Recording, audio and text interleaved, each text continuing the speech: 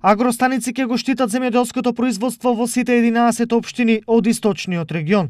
Истите ќе бидат поставени во сите општини, зашто Швајцарската агенција за развој и соработка ќе инвестира над 2 милиони денари. Денес Центарот за развој на Источен плански регион подпиша договор за поставување на 11 агрометеоролошки станици за заштита на земјоделските култури во регионот, со тоа што до крајот на месец ноември треба да биде поставена по една агрометеоролошка станица во секоја општина.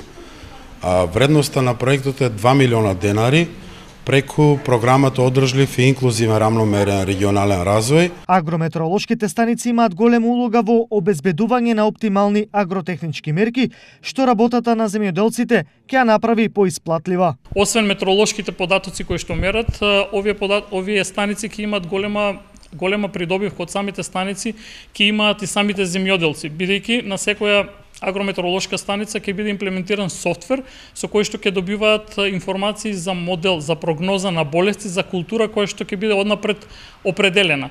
Меѓутоа постои можност да бидат надоградени, да кажеме една станица да има и повеќе повеќе модели за прогноза за повеќе култури и на тој начин да да а, ги избираат правилно сите агротехнички мерки, тоа значи заштита на средства за заштита, а со тоа и зачувување на животната средина. Како всушност овие станици функционираат и како информациите ќе стигнуваат до земјоделците? Сите станици ќе бидат од отворен тип, тоа значи сите корисници ќе имаат може да ги користат самите податоци од метролошките податоци на мобилна апликација, откако ќе заврши процесот на поставување, ќе биде промовирана, а исто така ќе биде промовирана и веб платформа на која што ќе бидат имплементирани моделите за прогноза на болести, па сите земјоделци на неа ќе ги добиваат сите потребни информации. Поставувањето на агрометеоролошките станици се дел од програмата за одржлив и инклузивен рамномерен развој.